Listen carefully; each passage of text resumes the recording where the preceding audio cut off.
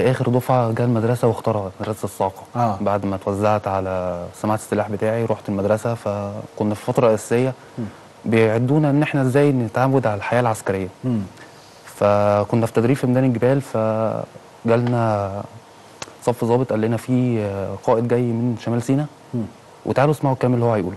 تمام وعمل لنا جمع في أرض الطابور آه، المدرسة كلها كانت واقفة ابتدى إن هو يتكلم عن الكتيبة 103 صاعقه ابتدى يتكلم عن إن هو بيختار رجالة معينة مم. تطلع معاه وإن محدش هيتفرض عليه إن هو يروح هناك الناس هناك بتروح باختيارها مم. ابتدى يكلمنا عن آه الناس بتروح سينا باختيارها باختيارها آه ما بغصبش حد يروح مم. نعم. إن هو بيختار الرجالة اللي بتطلع في ظهره آه تمام لأن وقت ال- المداهمة أو وقت العملية مم. ما بتفرقش ما بين ضابط أو عسكري أو صف ضابط مم. كلها بتبقى واحد كلها بتاكل مع بعض هناك الفكرة إن مختصر المحاضرة اللي هو اتكلم فيها معانا.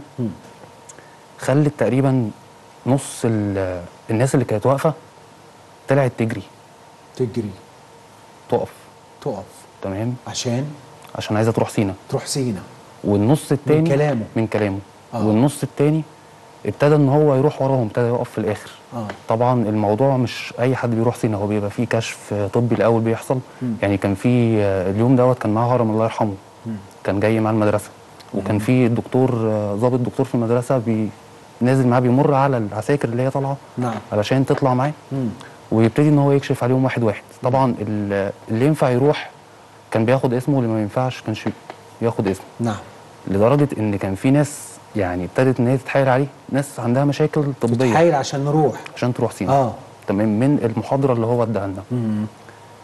وخدنا فرقة صاعقه تمام؟ الناس اللي اتوزعت بقى على سينا وان هي رايحة سينا خدت فرقة صاعقه بس من نوع شديد شوية. آه كانت متقدم أو في آه. كانت الفرقة شديدة شوية علينا. شديدة. تمام؟ مم. وكان متوصي علينا جدا لأن إحنا الناس اللي رايحة المقدم أحمد منسي. مم.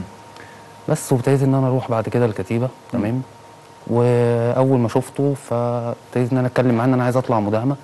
فطبعا أول مرة قابلته حسيت بإيه؟ اتكلمت معاه في إيه؟ أول مرة قابلته قابلته في المدرسة. آه. جه سلم عليا قال لي يا وحش اسمك إيه؟ قلت له اسمي أحمد عز يا وحش. آه. أحمد عزت. أحمد عزت. آه. قال لي لا اسمك جندي مقاتل بطل أحمد عزت. آه. لو أنت عايز تروح سينا. وراح جاي مطبطب على كتفي وماشي الدكتور كشف عليا. لما رحت سينا. لما رحت سينا خدنا رفع المستوى. حضرتك في الكمين اهي الصورة دي؟ تقول لنا هي دي صح؟ آه. آه. اتفضل. ده قبل الأجازة الأخيرة قبل ما نتدرب على طول. قبل الأجازة. قبل آه. نعم اتفضل. ثم رحت بقى الكتيبة.